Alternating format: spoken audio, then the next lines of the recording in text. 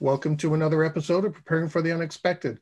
I'm your host, Alex Fullick, and as always, we like to talk about things related to business continuity, resilience, COVID, crisis management, disaster planning, anything that's relatable to those topics, anything that helps you, your organization, or your community plan and prepare for and overcome adverse situations. If there is a topic you'd like us to talk about on the show, or you'd like to be a guest, you can reach me through LinkedIn. That seems to be the easiest way to find me because I am the only Alex Fullick on LinkedIn. So send me a message and I do return all messages I receive. Longtime listeners and viewers, you'll know that I talked about being a presenter at the BCI Virtual World Conference in 2020 in November, and that I hope to have some of the speakers on the show. Uh, and I had a fantastic response to that, and today is no different. We're going to be talking about two subjects. The first will be uh, leveraging artificial intelligence for business continuity. And the second topic we'll talk about is cyber resilience. And I'd like to welcome to the show the speaker and author of both of those presentations, Agnidipta Sarkar. Agni, welcome to the show. Hey, thank you. Thank you for having me. And I'm really honored to be on this show and um, talking about the unexpected and preparing for it. Well, it's great to have you here. I know uh, your hands were full because you had two presentations at uh, BCI. Uh, so that's that's yes, going to be tough to do to start with.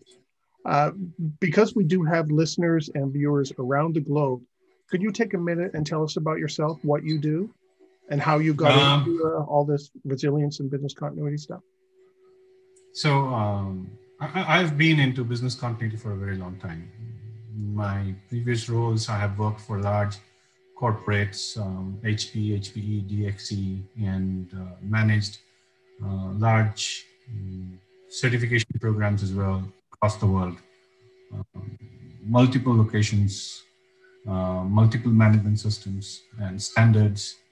Um, today, I am an evangelist and I help enterprises address uh, challenges in cybersecurity, business continuity, privacy, standardization, change, um, especially when they're on the digital transformation footprint more after COVID-19 uh, and, and, so on and so forth. Uh, and uh, I am part of uh, three ISO forums, uh, three mirror committees in India. Um, one is for SC27, which is 27001 and the privacy standards. The second is for uh, TC292, which is 22301, which is the business continuity standard and uh, supply chain resilience. And the third is for risk management. And apart from that, we met on the BCI World Forum. So I've been working in, in terms of leading the cyber resilience think tank and hence the work on cyber resilience that we did in uh, 2020. Um, I'm also contributing to uh, Cloud Security Alliance, uh, trying to move their um, their cloud control matrix from version 3 uh, to version 4 uh, as it happened uh, on 14th of Jan when they released it. So that's a little bit about me and my focus has moved from cyber resilience and risk and into resilience uh, about five years ago. And that's when I started moving into this area and started working on it. Busy guy, you know, contributing to a lot of things. How do you find time? I'm, I'm, trying my best. I'm, I'm trying my best to keep my head above the water. well, let's move to your first topic at the BCI conference, and that was uh, leveraging AI, artificial intelligence, for business continuity. In uh, terms of business continuity, what is artificial intelligence? Well, let's just define artificial intelligence first. We'll, we'll get to BC afterwards because some people when so, they think of artificial intelligence they're thinking star wars r2d2 c3po and things like that. You, you are absolutely right. There are many concepts and conceptions about artificial intelligence across the world. Um, so what i'm going to do is, is what i did earlier is root it in reality. I i am going to read out some stuff that's written on the stanford university uh, website. They have a whole um, effort that they've put in artificial intelligence. Um, the standards making bodies are still struggling to come up with a single definition of AI, but AI broadly means uh, uh, artificial intelligence, which means there are two parts to it. Artificial meaning that it's not human, it's uh, it's machine made, and uh, and then there is intelligence. Now, the, the so so to your point, the R2D2 kind of thing is too futuristic at, at today because there are multiple types of uh, you know the intelligence that that we talk about.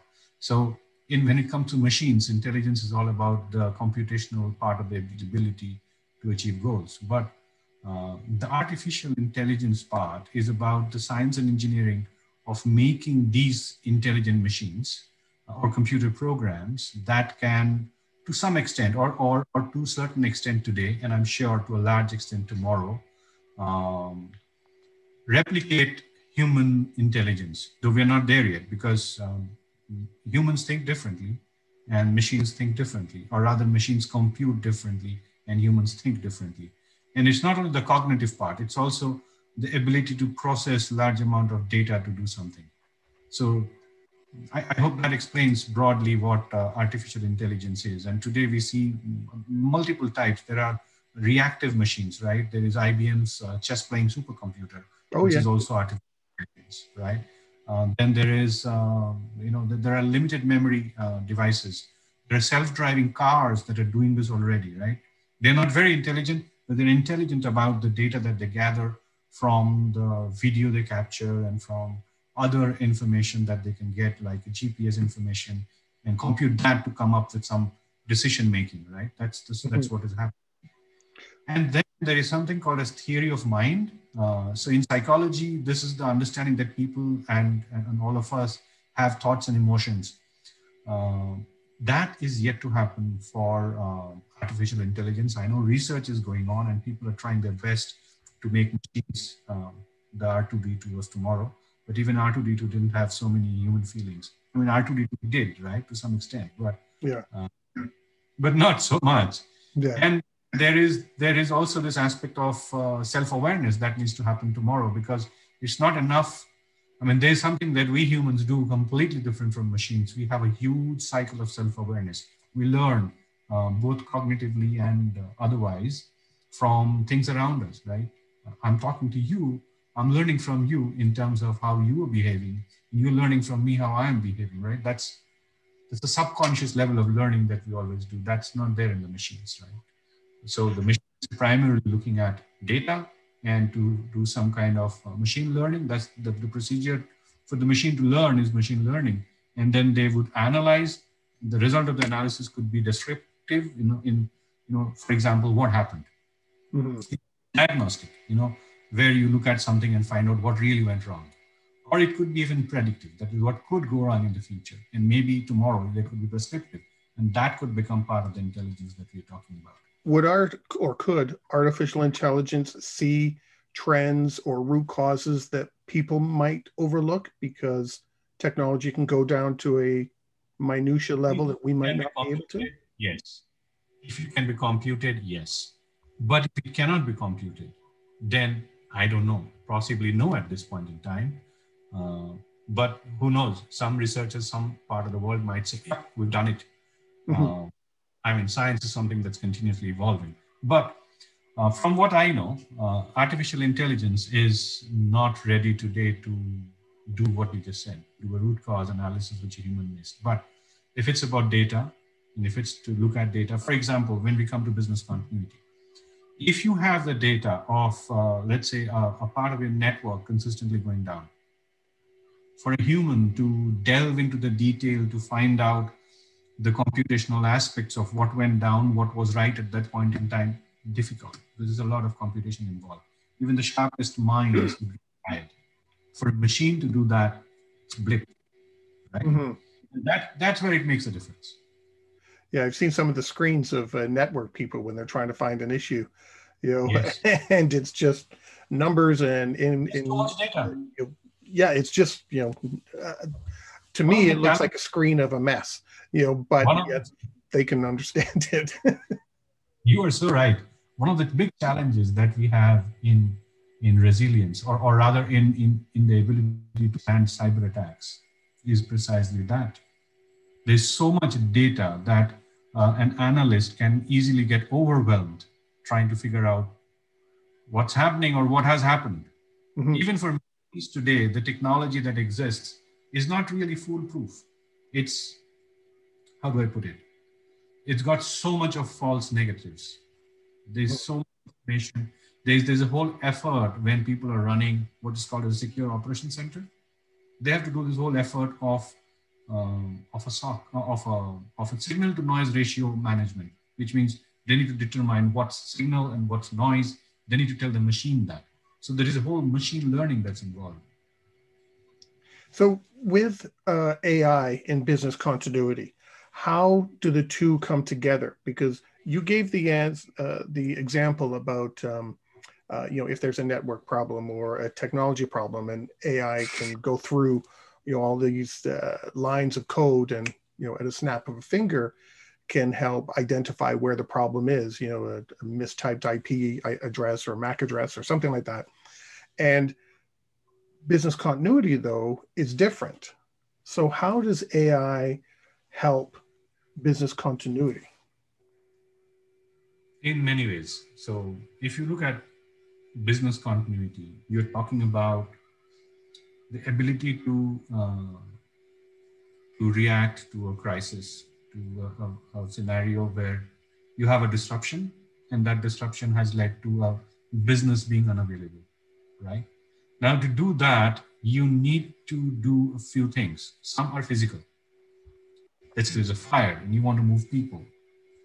Um, artificial intelligence probably will not be able to move people uh, physically, or probably would be. I mean, you know we've seen those movies where there's a computer voice that keeps telling people go left go right and all that right? mm-hmm. yeah but to do that it needs a video feed it needs to identify people who are within that video feed and if there's fire obviously the video feed might go off at some point in time but the point is there is some other data that that that artificial intelligence can work on during a disaster uh, for example um, cyber uh, attacks well, don't go too far into cyber because we're going to talk about that in the. No, I'm not going into resilience. I'm talking about business continuity due to cyber attacks. Okay. Uh, so, so, so there are already tools available which are doing uh, activities to prevent or to detect or to respond and even recover from cyber attacks. Um, artificial intelligence, however, can contribute to some physical stuff. For example, if you have a data center, it can predict that uh, there could be a power shutdown because the mains have gone off and the UPS is running at a particular load. And unless you are able to, you know, uh, put additional activities which are going to take care of the load, you might experience a shutdown. It can, it can do that because it can compute the, the electrical power. It can compute the load that the machines are giving it, and it can come up with those answers. It can pick up information from IoT that you can install at the data center and take corrective action even. So uh, what I mean by that is, let's say you have a certain amount of load in a data center and, uh, and there's a power shutdown and you don't have any people at that place. You just have machines. You have artificial intelligence, which is designed to, to shut down systems because it is expecting a uh, it's predicting a shutdown of, or, or it's, it's predicting an overload of power over a period of time. It can do that automatically.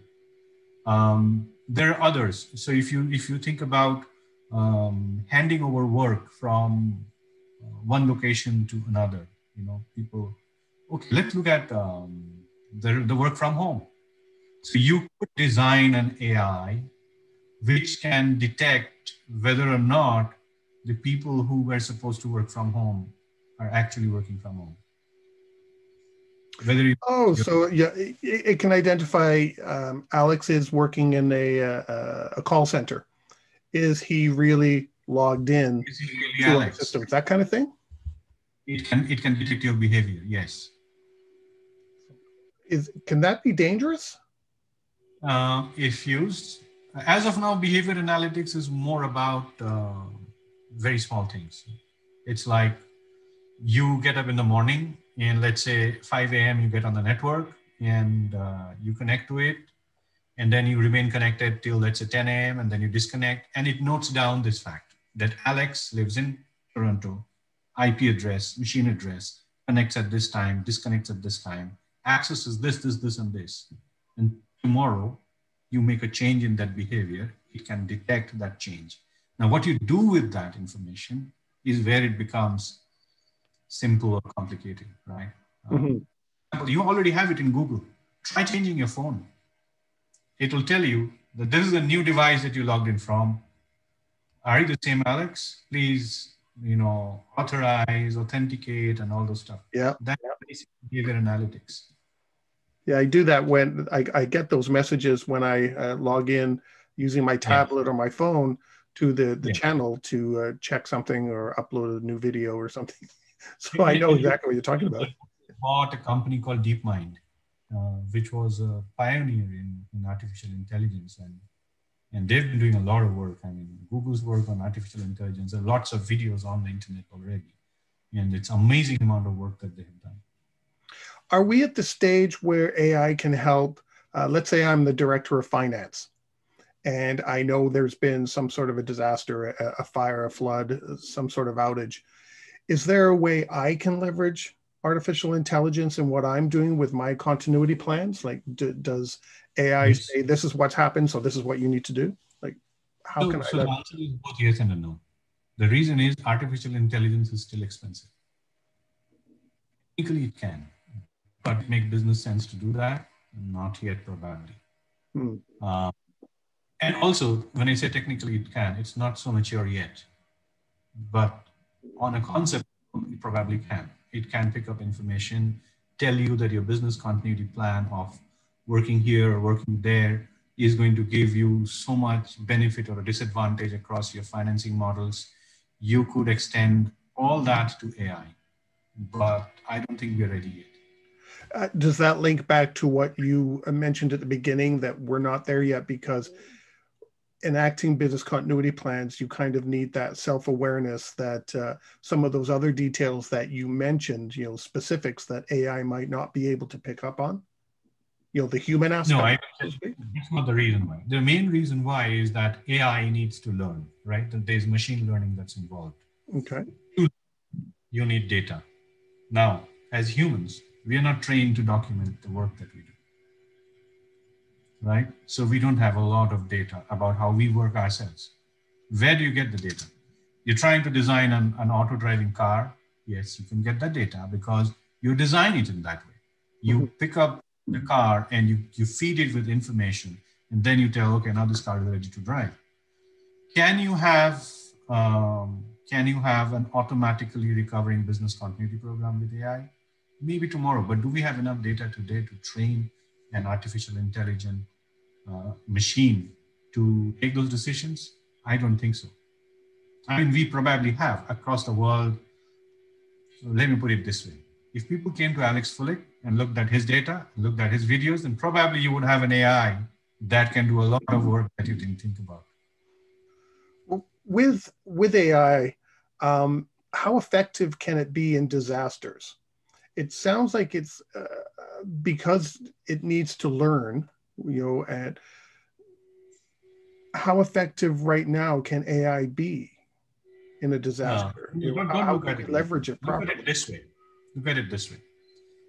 If you have a plan, let's say you have a business continuity plan, unless people know what to do with the plan, your planning is ineffective. Today, AI is at that stage. AI doesn't.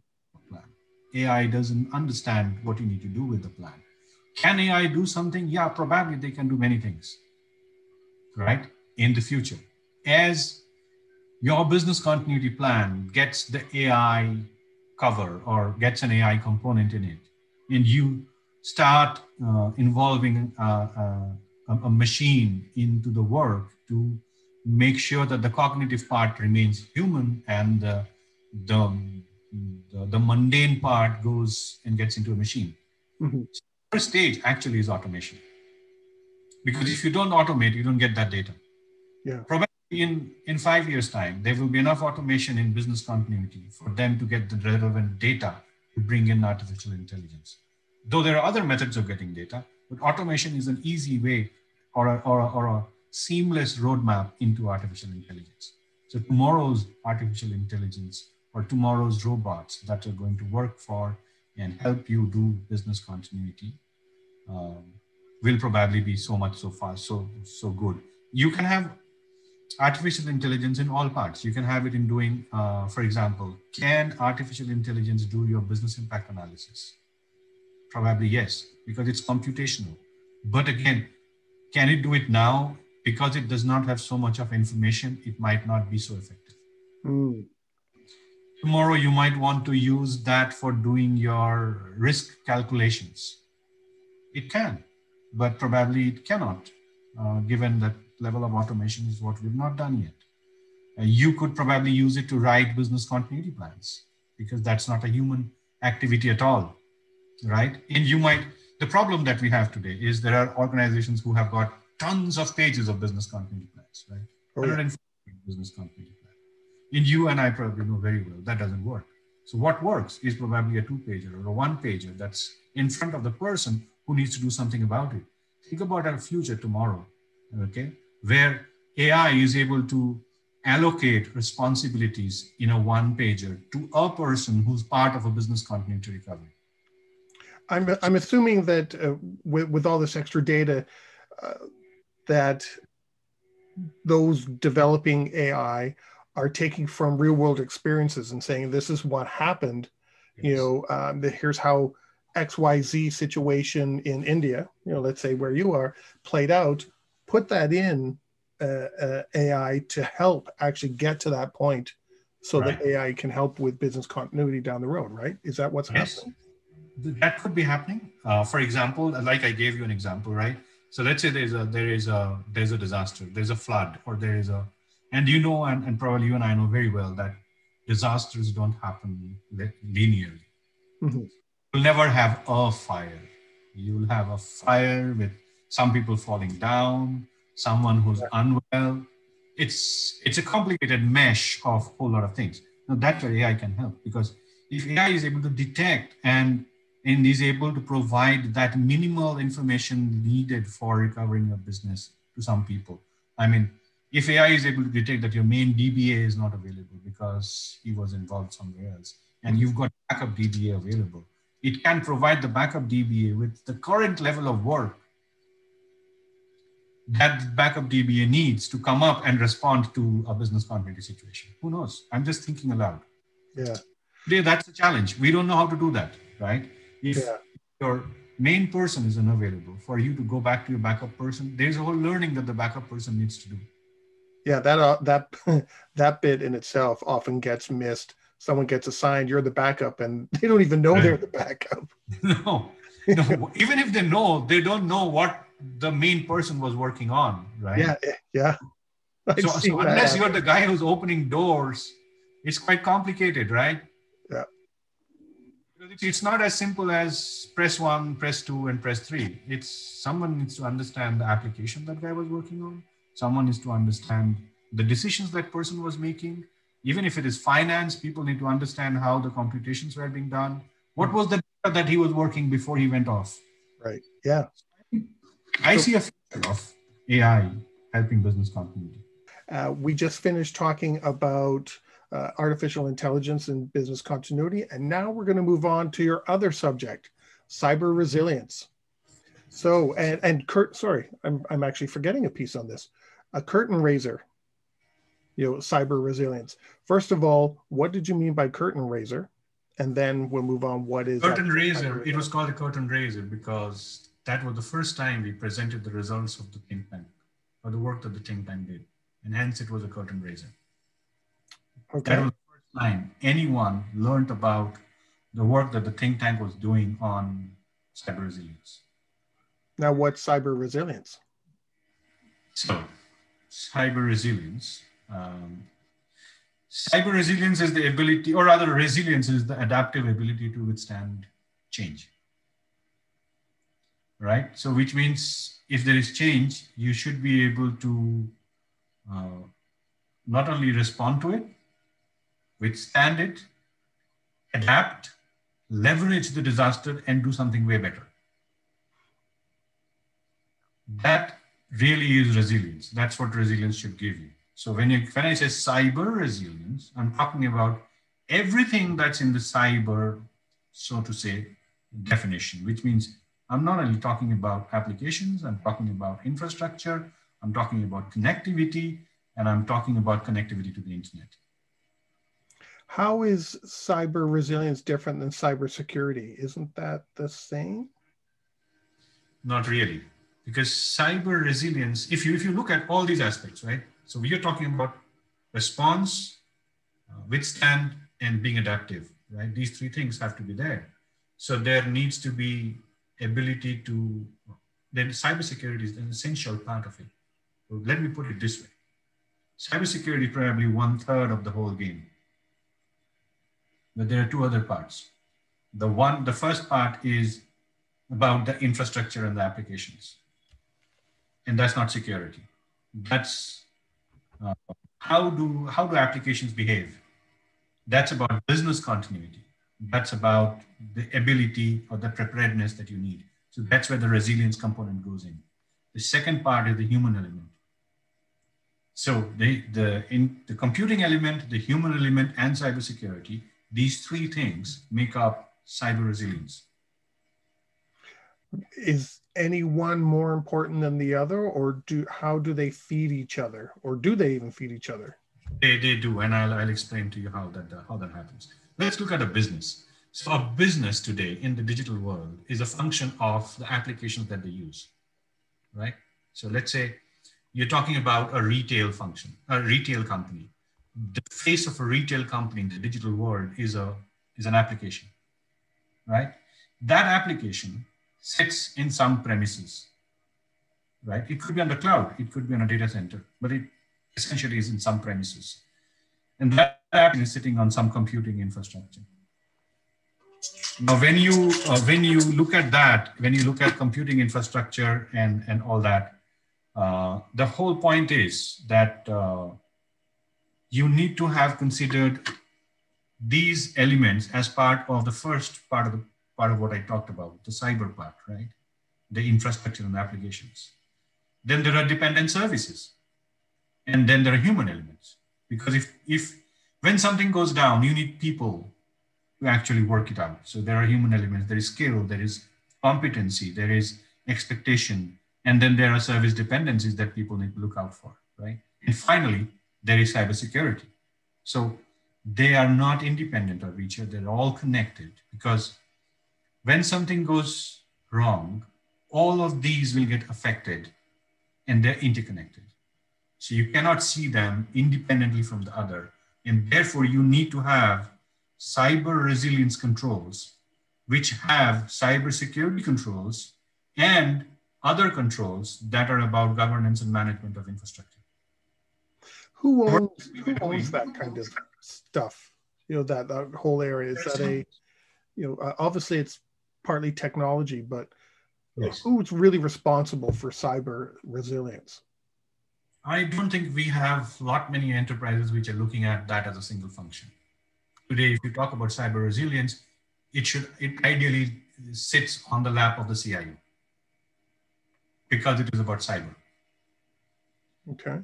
Tomorrow things might change because the CIO is focused on Okay, so let me put it this way, that for every enterprise, computing infrastructure have both uh, uh, uh, an offensive, need, a, need an offensive strategy and a defensive strategy. So the CIO is all about offensive strategy, right? It's about how do you use computing infrastructure or IT to make business happen. That's an offensive strategy. How do you use what you have? The defensive strategy is how do you protect what you have? Today, because it is about cyber, it still goes back to the CIO, but who knows, tomorrow you may have a site, you know, chief resilience officer, and that hmm. person is responsible for this. But I don't think, or it could be that cyber resilience becomes a subcomponent of the business continuity office. Today, the industry is confused because we are not looking at cyber resilience the way we should be. We are looking at cyber resilience either as part of IT or as part of business continuity. And sometimes it's neither IT nor business continuity and it's mm-hmm. dropping in. Yeah.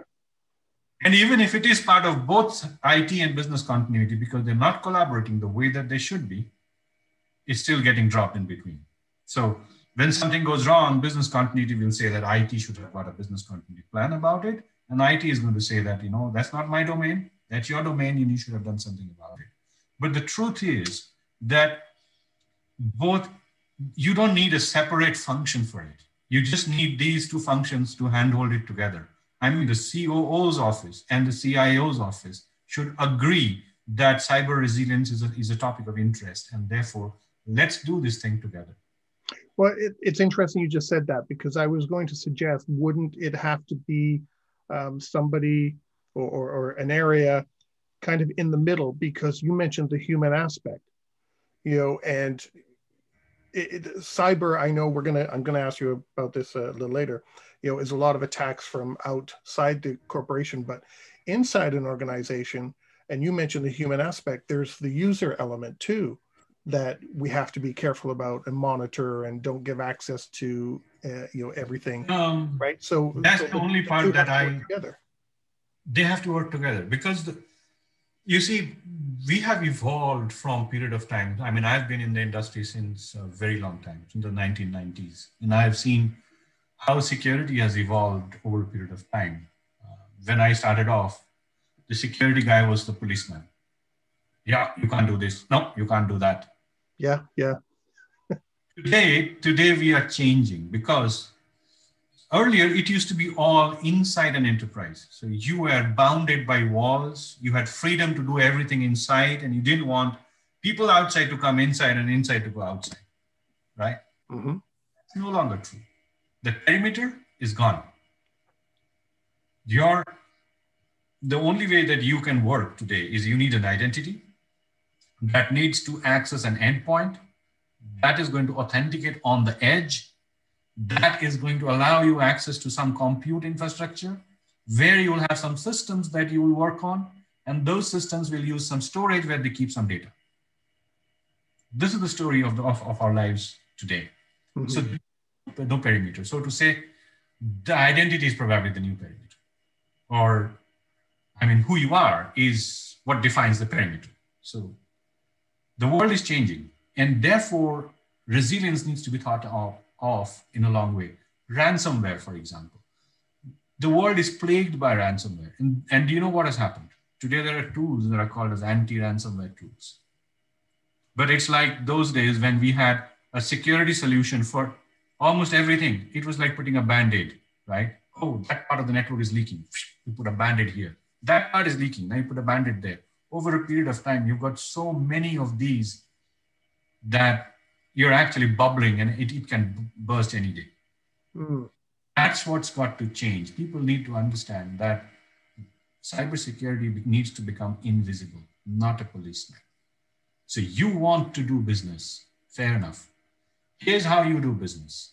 You want information. Here's how you get information because you're no longer within an enterprise You could be using cloud. You could be using anywhere computing. You could be using, I mean, think about it this way. Let's say the CEO of a company wants to go and do business in Syria.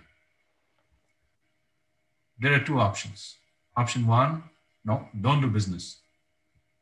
Option two, you want to go to Syria, I'll create a secure channel for you. So that end to end, my CEO remains unharmed. Yes, that requires investment. And that's where the risk perception comes in. So the whole idea is about optimizing risks. Mm-hmm. How risk are you willing to take in pursuit of your objectives? If that makes sense, very good. You have the solution. And that's where we need to move from where we are saying security, don't do, to security, yes, let's do it, but this is not the way to do it. You, you mentioned uh, ransomware and uh, I know because we're seeing it in the, the news a lot more. It's um, becoming a lot more prevalent in the, the business world right now, and everybody seems to be uh, struggling with it. But why is that happening so much during COVID nineteen? You know what what needs to happen to uh, address this increase in, in you know in ransomware attacks? So you know fair question. That, that's a very important question. But I have a bigger question to ask. Today you have ransomware, and tomorrow you might have something new. Right? Mm-hmm. I mean, you hear about ransomware until a few years ago. Now ransomware is rampant. And for ransomware to work, there needs to be a few things that need to happen. One, there needs to be a program that needs to enter your network. in that program has to contact and has to create a command structure to encrypt. So, so two things need to happen. One, an alien program needs to enter your network and your computers. Two, that alien program needs to be able to encrypt. Now, if you have invested in a capability that denies both, you're relatively safer. But that's not what happens because we are still at a stage where the enterprise believes and has believed due to so so what happened so to your question what happened due to covid-19 due to covid-19 a lot of unauthorized access was allowed right because people did not understand that this is a pandemic probably few of us who have gone through the SARS pandemic mm-hmm. knew what pandemic is. Uh, I mean, I was amazed at what Wimbledon did. I don't know if you read that. They earned more in COVID 19 than they would have if the shutdown hadn't happened because they went for pandemic insurance. They paid 2 million for 10 years or something like that. And now they collected a cool 141 million, Oof. which is 21 million more than the amount that they would have probably earned if they had the if they had the event. But I don't remember the numbers right now. But still, 141 million, large amount of money for a program that you did not do. Hmm. So, so there are organizations on, on, on that side of, of the fence who had thought about it, who had prepared for it, and who were resilient. Right? And there are organizations who are still thinking about it and who are still not resilient. I mean, the biggest example I can give you is the Olympics. They stopped the Olympics. They went under loss. So many people, so many athletes, and everything. And now they're saying we're going to do the, athlete, the Olympics no matter what. So it's an either or kind of scenario. They're not looking at it the way others have looked at it. Is part of it, uh, part of the issue right now with COVID is so many people working at home that yes. you know that that it opens up organizations to more risk. So cyber is on the increase. Cyber crime, I should say, is on the increase. So let me give you what really happened. So when this happened in February and March of last year, right? People thought it's a business continuity problem. And those who had a business continuity plan, which let's say is about 40% of the whole world, right? Of the connected enterprises, probably, they went and they invoked their BCP. And as per their BCP, up to 25% of their people started working from home. What they didn't count upon is that this requires you not only to respond to, but to withstand as well. Remember my definition of resilience, where I said that it's not enough to respond to, you need to be able to withstand. Now, that withstand can be for one month, half an hour, could be for one year. The objective of, of, of, of resilience is to be able to withstand. Now, when, they, when that problem came up, they realized it's not 25%. They need to have 100% people working from home. Now, they did not, so they went out in the market, then looked for uh, laptops on rent. A lot of people got laptops on rent, and a lot of people did not. And those who did not, they went into the last resort. They said, if you've got a device at your home, connect it, and we will allow you in because we need to get the job done. And that's what the, the the perpetrators realized is a gold mine because now you can attack and succeed at a device that is not as robust as the enterprise would have wanted it. Mm. So the number of attacks that we saw in February and March substantially went to the endpoint as compared to the, the enterprise. And guess what happened? All the endpoint security companies, they made a lot of money because they came to you and said, we're from Symantec, we're from A, B, C, D, and uh, you have, you're going to go, uh, you know, to the endpoint that needs reinforcement. Here, buy my product. And mm-hmm. people bought products. Some people saved themselves. Some people did not. And that's where the cybercrime went into rise because it's easier to attack an endpoint than it is to attack an enterprise where you would have a a military grade firewall or something like that that's sitting there that's not allowing your traffic inside. And Go ahead. the good news is that you can take an endpoint and connect it back into your enterprise and have a backdoor because remember I, I explained that in early days, you had the firewall that prevented you from the whole world. So you thought everybody inside was safe. And now you have a guy who comes from outside, who's a trusted person, connects an untrusted device into your network, and boom, you've got an insight into mm. trusted environment. So let's say something does happen. There is a, a cyber attack. What should an organization have in place and what can they do if they do have a cyber attack to help them become more resilient down the road? So, if you look at it, when you're looking at cyber resilience, you need to think about before, during, and after. So, the question that you asked is about after. There's a whole lot of work that you need to do before in terms of preparation and during as the attack happens and then after. So one of the big thing that is after that is called recovery.